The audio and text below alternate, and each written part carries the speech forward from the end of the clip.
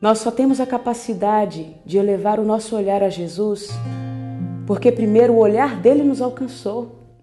Porque primeiramente ele se decidiu por nós, ele se decidiu atrair-nos para ele.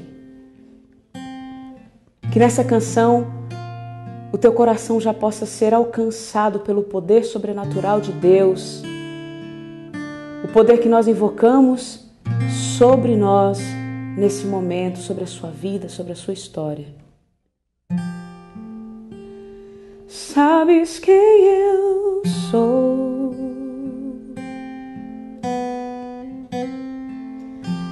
Conheces meu viver.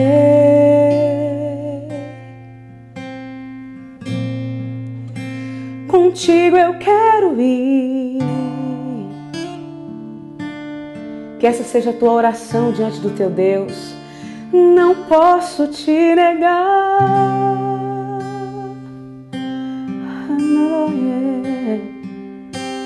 E quando eu me perdi,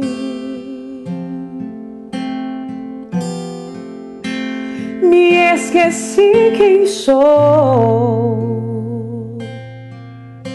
Quantas vezes, Deus, me esqueci quem és.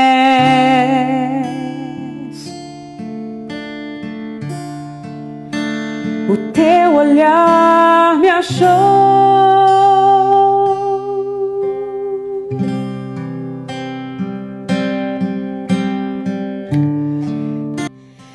te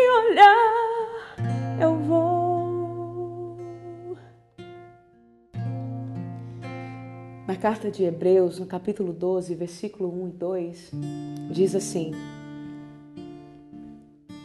Corramos com perseverança para o certame que nos é proposto, com os olhos fixos naquele que é o Autor e Realizador da fé, Jesus.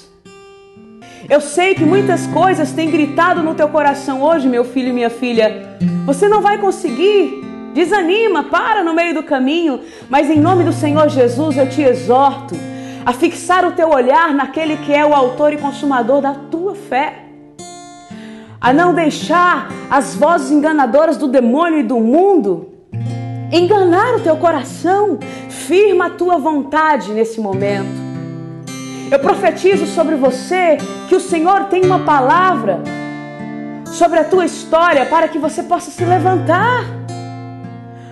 O chão não foi criado para você, o chão foi criado para pessoas que assumiram a derrota na sua vida. E você não pode assumir a derrota na tua vida porque um Deus se decidiu a te salvar o autor e consumador da tua fé, Jesus.